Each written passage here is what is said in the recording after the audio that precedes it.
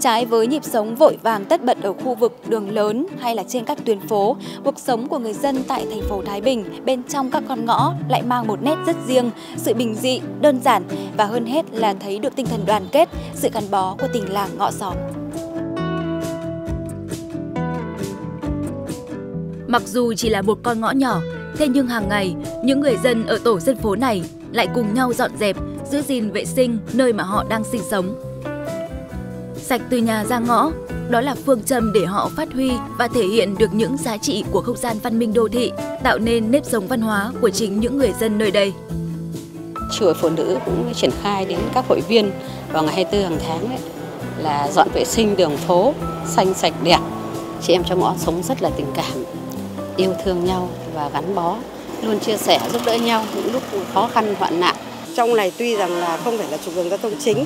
nhưng mà mọi sự cũng vẫn là nhộn nhịp và vẫn là là đua tranh cùng với lại các hoạt động à, ngoài à, đường phố lớn và à, cảm thấy là mấy năm trở lại đây thì hoạt động rất là tích cực và sôi nổi. Tuy không phồn hoa như những khu phố lớn, nhưng phải nói rằng những con ngõ vẫn có nét sinh động riêng và mang đậm không gian văn hóa sinh hoạt cộng đồng. Bên cạnh việc giữ gìn vệ sinh môi trường, những người dân nơi đây luôn chấp hành tốt chủ trương thông qua các hoạt động tuyên truyền để tạo ra sự đồng thuận, đoàn kết trong khu dân cư. Họ xác định xây dựng nếp sống văn minh không chỉ trong gia đình mà còn phải lan tỏa ra cả cộng đồng dân cư.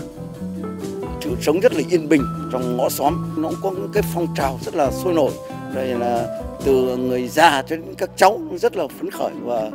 và thích thú đấy là mặc dù là ở trong xóm nhưng mà cũng rất là vui những con ngõ luôn chứa đựng những giá trị văn hóa riêng. Là tinh thần đoàn kết theo đúng phong trào, toàn dân đoàn kết xây dựng đời sống văn hóa ở khu dân cư.